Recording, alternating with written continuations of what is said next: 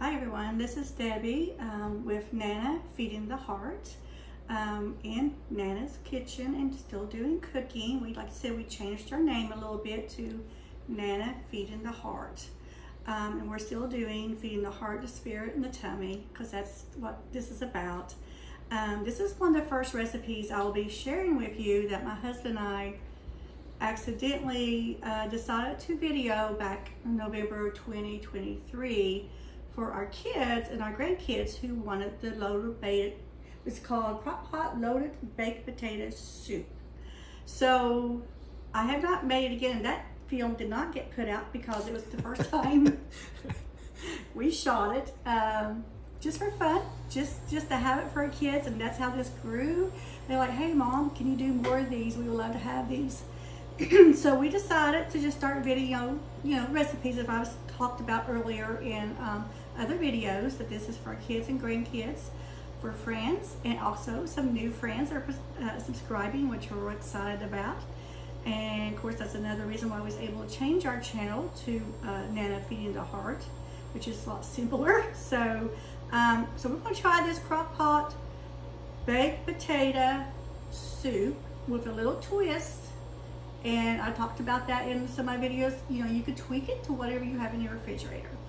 So good news is we just got over Easter weekend here in Florida with our friends at Vero Beach.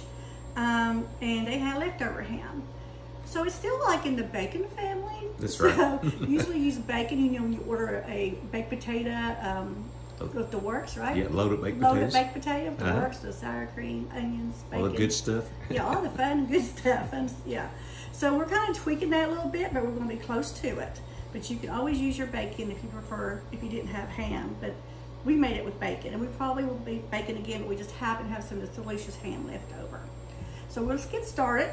Okay, so where's our crock pot? so, um, and then it asks for the Ore-Ida, whichever it is, diced hash browns that you like. You can get the ones with the peppers in to make a little twist if you want it, but this is what the recipe calls for.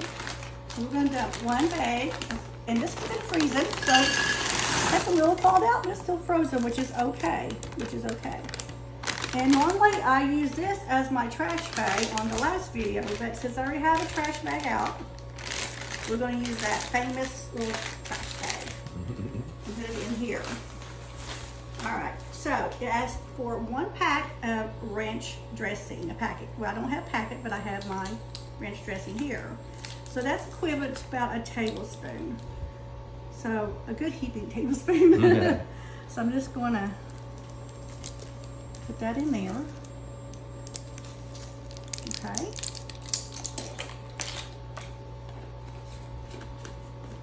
Then it calls for a block of cream cheese, which we've already opened. Thank you, honey. You're welcome. This is supper tonight. Yay. And maybe tomorrow night. Probably. There's only two of us. I usually have a bunch of kids around or grandkids around to, to eat. So, all right, a block of that. And then I am going to add where it would call for um, a pack of bacon bits, where you can fry up your own bacon and crumble in there, whichever you like. But I'm using cut up um, ham that we have left over. And it, it calls for green uh, onions on top, but I'm gonna add a little bit of onion flavor in my crock pot. So let's dump some of this ham in here, which is delicious ham. And then I'm just gonna add a little bit of green onions. Like I said, you tweak it the way you want. If you don't wanna add the green onions, absolutely leave them out. This is just optional. It's just something that I like doing, so. I didn't ask if you like green onions in yours. oh, I, I like them. Okay, good to know. All right, so now we're gonna open two cans of cream of chicken soup. So, dump those in there. This is really easy, isn't it? Oh, yes. I could probably do this. I think you can even make this. I don't think I know you can. Just go back and play the video a couple times. No, that's right. so, that's one down. This is a nice quick meal that you can throw together. And Yes, yeah, uh, any day, any day, any evening, that morning before you leave, uh, to go somewhere to work or church or just, you know, having a day you don't really want to cook, but you just put it on that morning or even that afternoon because this is like late afternoon, right? Mhm.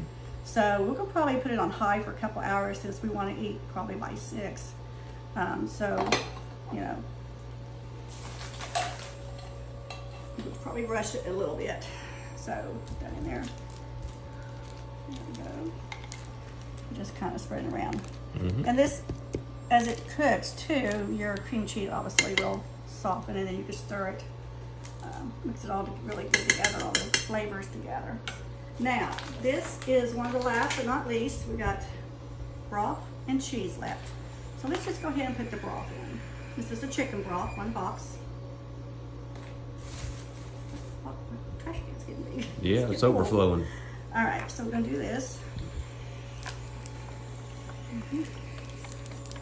I hope everybody had a good Easter weekend. I know we did. We visit, like I said, friends at Vero Beach, and we will be putting out um, a video from Vero Beach, Florida, of her sweet potato casserole that she makes and her family. So I'm looking forward to putting that out. We'll probably try to get that out tonight or tomorrow. So we'll have that one out. Then we'll probably put this one out. So stay tuned for that. And now the good stuff. Oh yeah. And the friend that I always talk about who doesn't like cheese is Peggy, the one who assisted me, or I assisted her at her house making a sweet potato casserole. She's one that say, I'm the one who doesn't like cheese. So if you're that one who doesn't like cheese and you don't want to add cheese, leave it out. Optional. So we're going to add cheese. So I would do, I'm going to do about half a bag of the cheese, and I'm going to save the other half, or a fourth bag, maybe fourth bag, um, for the topping of your Mhm. loaded baked potato soup. and that way you have some more cheese, and I'll have the green onions chopped up here shortly. While this is cooking, I'll prep the green onions.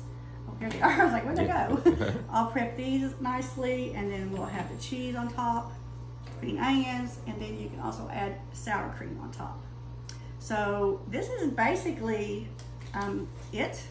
Um, you can make ham casserole. I was going to do that in a casserole dish, but we decided on the potato soup, the loaded baked potato soup. So we will check back here in a few hours, which will be seconds for you, as we know, and um, and we'll come back and taste it or look at it and see what it looks like. Thank you for your time. Hey everybody, we are back with our loaded baked potato soup made in our crock pot today. And we're really excited about this because I'm really hungry, so I'm really excited. Me too. so one thing I do want to add, um, I did forget to put in some pepper. And I added pepper and a little bit of garlic salt or garlic powder, just a dusting.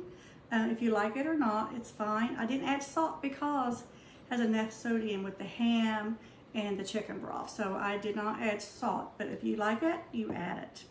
So let's get started and dipping this out. And I don't know, Jimmy, if you can zoom in a little bit here. I can do my best. Look oh my, look how nice. how good. And like I said, this time I made it with red ham that was left over from Easter. And, um, mm, Mm-hmm. yes, we'll give you two ladles. Hey, good. I, accept. You accept. Okay. All right. So let's start there. And then I have some toppings here. Um, like a little tablespoon of sour cream. Yes, or a please. tablespoon. yes, right. please. We're going to do it like a loaded baked potato you would get in a restaurant. So let's put some cheese over it. I'm sure you like cheese. Absolutely. Just kind of a little bit more cheese, right? We like Mhm. cheese. So see what you think. It is good. All right, I did chop up those green onions. They were really pretty. So we'll put your little dab of that on. And then you can always add later if you want more. Oh yeah, that looks like a Mhm. loaded baked potato with ham versus bacon. Now, if you want to go crazy, you get some bacon bits out and put on top of that. Oh yeah. Ooh. Yeah, bacon ham overload. so Meat lovers. meat lovers, uh, meat lover special with bacon and ham. So that'll be awesome. And I have a couple of our Hawaiian uh, rolls left over from recipe I had early on, making French toast with Hawaiian rose. Um, so we're gonna serve that. Um, so we wanna thank you guys for watching. Um, I saw a scripture somebody written on their little board as we were uh, walking down the road here a little bit ago, and it said, "A cheerful heart or a giver. Yeah, cheer, cheerful give, giver. Yeah, a cheerful giver. And I was thinking of different ways we could be a cheerful giver. That's hard for me to say today. so, you know, it doesn't have to be finances or anything. It could be a bowl of soup. And you do it in your heart. It could be a hug or whatever it might be. But be cheerful when you give. So mine is I show love through my food for my family and friends. So thank you guys uh, for loving this and subscribing. So please hit and subscribe.